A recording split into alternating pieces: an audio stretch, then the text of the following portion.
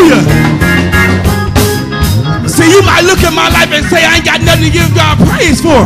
But you don't know what I've been through to make it here on tonight. You don't know what I went through to make it here on this day. You don't know what I went through on last week. You don't know what I went through on this morning. You don't know what I got to go home to tonight. So you might say, it don't make no sense for me to give God praise because I know what your life is like. But guess what? Because you know what my life is like, that's why I need to give God praise. Because you know what I've been through and you see what I've made it through. That shows that God's worthy of my praise. Hallelujah. Hallelujah.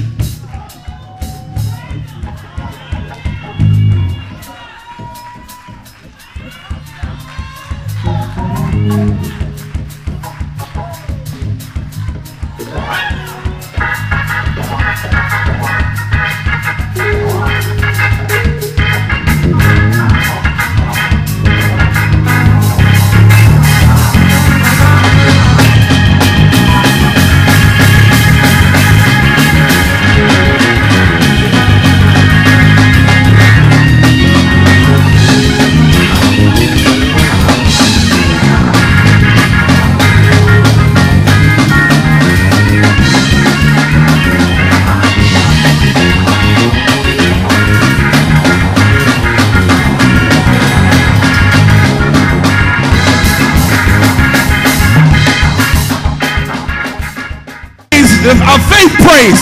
Somebody lift up a faith praise right now. Hallelujah.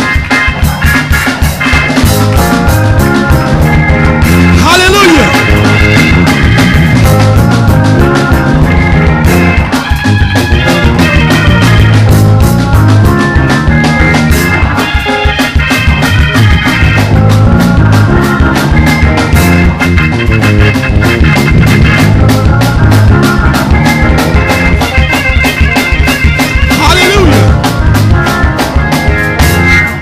Hallelujah. Hallelujah. See, that's how you boldly declare something. See, that's how you speak those things that are not as though they already were. Hallelujah. Because as Christians, we don't look at the facts because facts don't know God. Y'all, y'all, y'all didn't. Facts don't know God. Facts don't know my Savior. Because the fact said my Savior shouldn't be alive today. Hallelujah. The fact that my Savior should still be in the ground. But how many know we serve a true and living God? Hallelujah. Because we serve a true and living God. Where the people proclaimed him dead and the fact said he should be dead. But yet he rose again. That means there is nothing, nothing, nothing too hard for God. Hallelujah. Hallelujah. Hallelujah. Hallelujah. Hallelujah. I need everyone standing at this time. Hallelujah. Hallelujah. Hallelujah. Hallelujah. Hallelujah.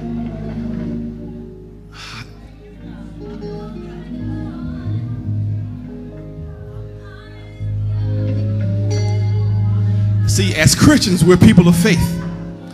See, because it's crazy to the world that I believe something that the doctors say I shouldn't believe. It's crazy to the world that I believe something that my family and my friends say I shouldn't believe. But see, I like being crazy because the Bible says I'm peculiar. I'm a chosen generation, a holy nation, a royal priesthood. See, I'm peculiar to the world. And that's all right with me because when the world is comfortable with me, that means I'm doing something wrong. But because I'm peculiar to the world, it's because I stand out. How do I stand out? Because I praise God when I shouldn't be praising Him. I worship God when I shouldn't be worshiping Him. See, because the world thinks we have it backwards. They think we should only praise God when we got the new car, the Lex Coupe, Bentley, and the Benz, riding on 22s. But I give God a New Jersey Transit praise. Y'all didn't, y'all didn't hear that. I give, a, I give God a walking like I ain't got no, I don't care. I ain't, my car don't work, I ain't got no car. If I gotta get on my skates, I'm gonna get there. But even while I'm skating, I'm gonna be skating, giving God praise because God is still able. Hallelujah. See, you give God praise for your four bedroom house. I might just got one room, but I'm gonna praise him like I got no sense in that one room. Well, I'm gonna have my own altar call, my own worship service, my own praise service in that room because God is still worthy. Because the three Hebrew boys says, I, I know that God can deliver out this, but if he's even if he can, I know that he's still able.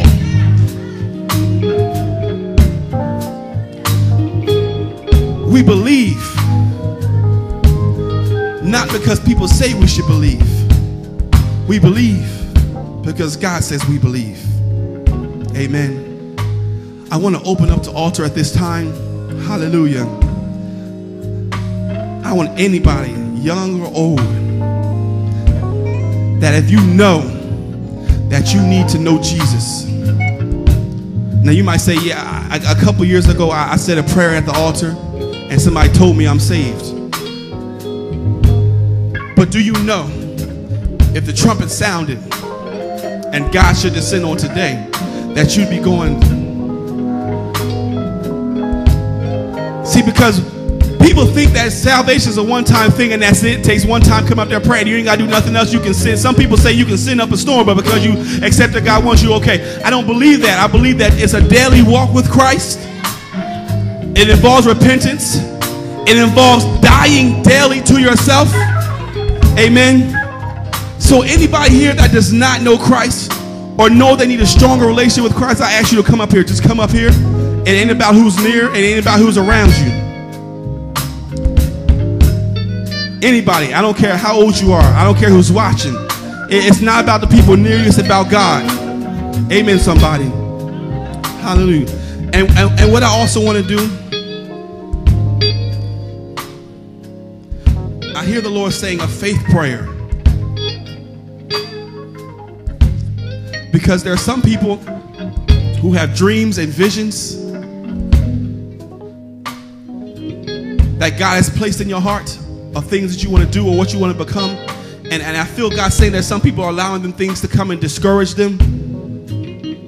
I don't care what your goal is. I want to do this. I got a business I want to open. I got family members I need to be saved, and they look like it's not going to happen because they acting like wild animals. And you want, you need somebody to come touch and agree with you in faith, I need you to come up here. I don't care what that vision is or what that dream is or what that that purpose that God has placed in your heart. Come on, give God a praise. I need you to come up here. People said I couldn't do it. People say it won't happen. People look at me say it's too late. People look at me say I'm too young. People look at me say I'm too old. But I know what God says. If you know what God says, but you know things are coming to test your faith, I need you up here. I need you up here. It ain't nothing wrong with needing some encouragement because David even said encourage yourself. And I know about that, having to encourage yourself. Amen. But we need people to touch and agree.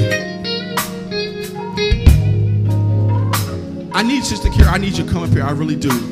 I need I need you to come up here. I need you to come up here.